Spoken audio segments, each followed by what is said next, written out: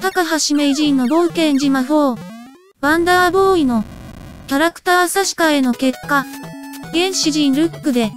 石尾の片手に、恐竜に乗る羽目になってしまった。ハドソンの広告塔である、高橋名人最後の冒険は、これまでと大きく異なり、ゲーム初心者向けの難易度をだいぶ下げたアクションゲームとなっています。今度は恋人のティナではなく、さらわれた恐竜たちを救うため、ナスビ魔王と対決します。余談ですが、本作は任天堂が許可を出した公認ソフトとして、最後のファミコンソフトとなります。ゲームとしての出来は、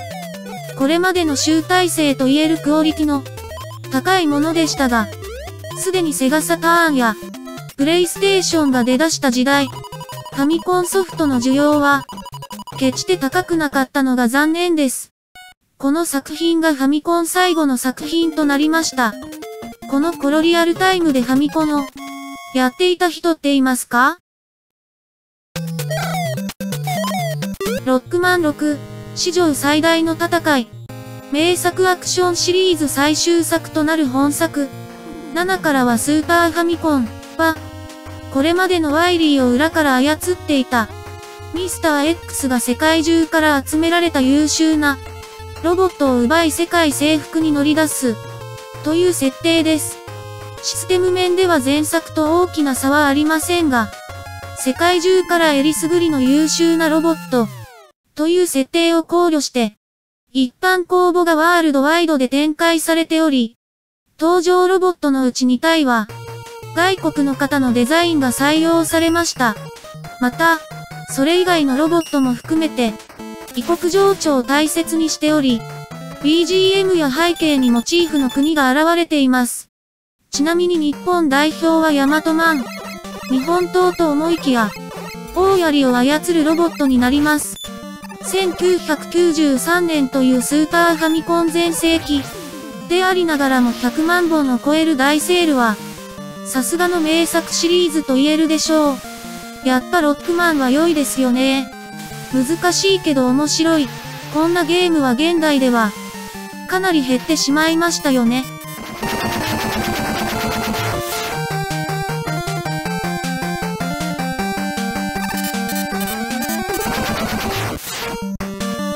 ドラゴンボール Z ガイデン、サイヤ人絶滅計画。ファミコン末期に発売された作品。ドラゴンボール Z シリーズでの4作目。ドラゴンボール作品としては7作目で、ファミコンでは最後の作品となります。ストーリーは、OVA 作品を題材にしていて、今までのシリーズとは一味違い、フリーザが兄弟で登場するという、激アツ要素満載です。また、味方にトランクスや悟空も参加するので、原作とは一味違う共闘が楽しめます。今回もカードバトルですが、必殺技が制限なしに打ちまくれたり、カードの連携が取りやすくなったので、アニメさながらの投げて、打撃で追い打ちかけて、ド派手にカメハメハを打ち込む、とうド派手さに磨きがかかりました。また、今回は一応セルの後とはいえ、OVA にしか出てこないキャラや、歴代のボスたちが襲いかかって、倒すのは本当にドラゴンボールらしい、胸熱な展開です。細かいところにあらはありますが、それを吹き飛ばすような楽しさがあります。後にプレイリア用の作品で、ドラゴンボール Z、震災野人絶滅計画、という作品も発売されています。さすがにこれはプレイしたことある人は、相当少ないと思います。そもそもプレイリアって、ゲーム機の存在も知らない人は、多いのではないでしょうか。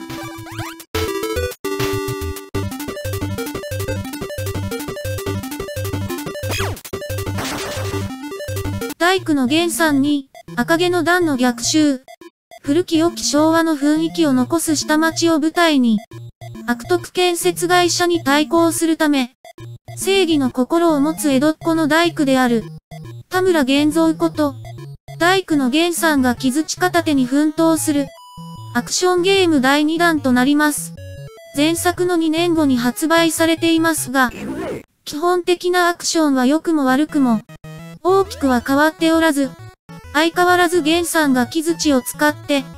多彩な攻撃を繰り広げてくれます。また、全クリアには2周することが必要となってますが、コンテニューなども実装されているので、頑張れば達成可能となっています。しかし、ファミコン週末期に発売されたことと、グラフィック、アクションともに非常に評判が良いことと、同シリーズの高い人気から、前作同様ソフトはプレミアが付き、やや高値で取引されています。昔の話ですが大工さんの手伝いで、木槌を使ったんですが重いし、狙ったところを叩くのが難しいです。ベテランの人はポンポン打っていたので、すごいなーって思っていました。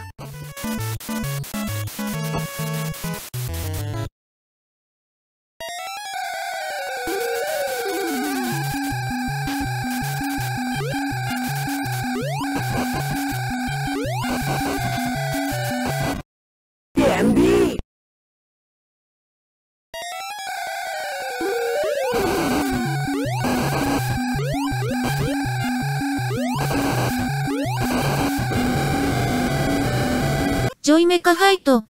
ァミコン末期、当時アーケードや、スーパーファミコンで大人気だった格闘、ゲームをファミコンで再現、というテーマで、作られた本作は、頭部と獅子がが宙に浮いた、不思議な形状のロボットを操作して戦います。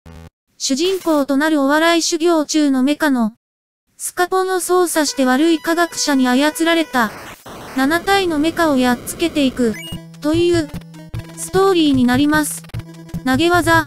気絶、スト2で勇気より、コンボ、必殺技と、当時の格闘ゲームの基本要素が全て詰め込まれており、それに、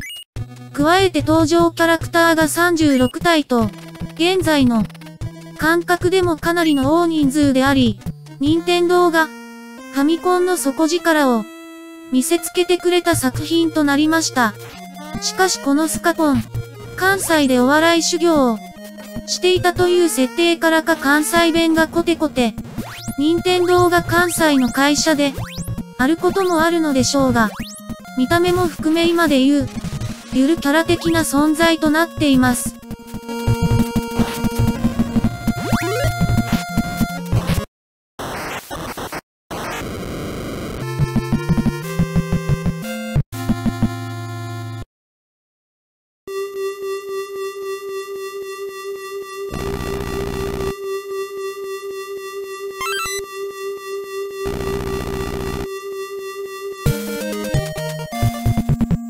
星のカービィ、夢の泉の物語。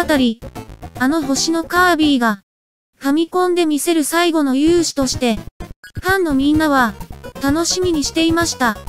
内容は定番の横スクロールですが、今回から吸い込んだ、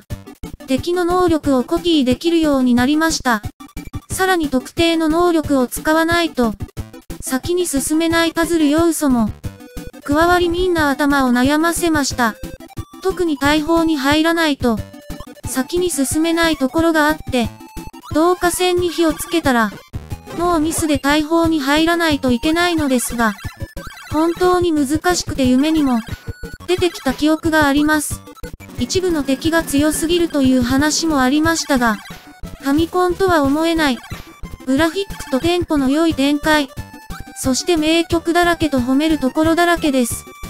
星のカービィのその後を決定つけた名作なので、星の子たちはもちろん、すべてのアクションファンに遊んでもらいたいです。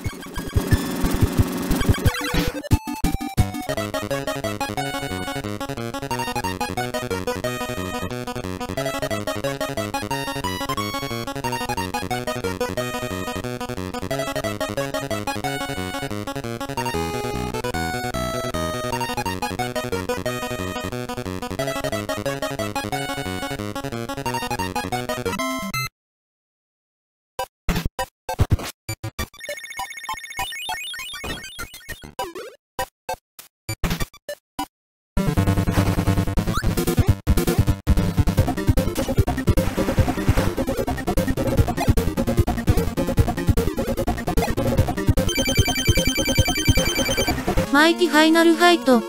アーケード、スーパーファミコンで発売されたファイナルファイトをファミコン用に落とし込んだ本作ですが、コミカル化することで、無理なく落とし込んでいます。絵柄に合わせてか、ストーリーも全体的に、コメディで、娘のジェシカがさらわれ、コーディを疑うハガーに始まり、自虐的な、ダムド、クイズを出したがるアビゲイルと、かなり砕けた設定となっています。システム面では、さすがにスペックの問題か、わらわらと湧いてきた雑魚キャラの数が、限られているものの、爽快感は別作品に、勝るとも劣らない出来となっています。ところで、ニューハーフのトイズンが、出てこず、妹が出演していたり、ラスボスが、車椅子ではなくサイボーグと、非常に配慮のできた作品だとも言えます。この細かな気遣いこそ、カツコンの真骨頂だと、言えるのではないでしょうか。当時はファミコン末期だったため、リアルタイムでは知らなかったのですが、ファミコンでもファイナルファイトを遊んでほしいって気迫が伝わってくる名作ですよね。